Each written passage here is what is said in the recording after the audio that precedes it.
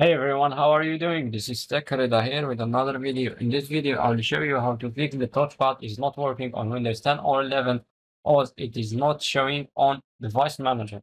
So let's get started. So the first thing you have to do, click on Windows key plus R to open run, then type devmgmt.msc, then click enter to open Device Manager. Expand mice and other pointing devices and you will find here your mouse your mouse devices. So what you have to do click on the view tab here then choose show hidden devices. And you will find multiple devices that are hidden. Right click on them on each of them then click on update driver then choose search automatically for drivers and make sure you are connected to the internet. Do this process to the other mouses after that, restart your computer and check if your problem is fixed. Another thing you can try is to click here on scan for hardware changes.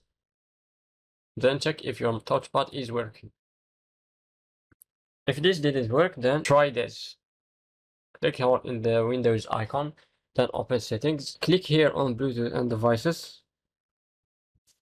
Scroll down, then click on touchpad section. So click on additional settings or more touchpad settings. So you will find here a tab named Elan. So you have to click on it. So if you don't have Elan option here, open your Chrome browser, then download it.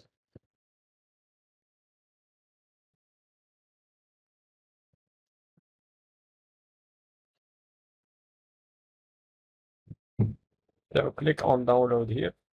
So if your device is compatible, you will be able to install it. So guys, after installing Elan uh, driver, there will be Elan tab here.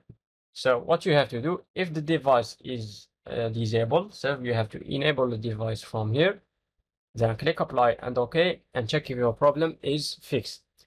Or if it is already enabled, so try stopping your device, then enabling it again and check if the problem is fixed.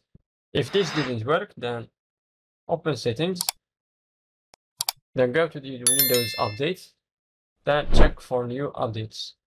After that, download and install the uh, Windows updates, then restart your computer and check if the touchpad is working again. So guys, if you found this video helpful, please like and subscribe and if you have any questions, leave them in the comments below. And don't forget to join our discord community server. You will find the link in the description. Until next time take care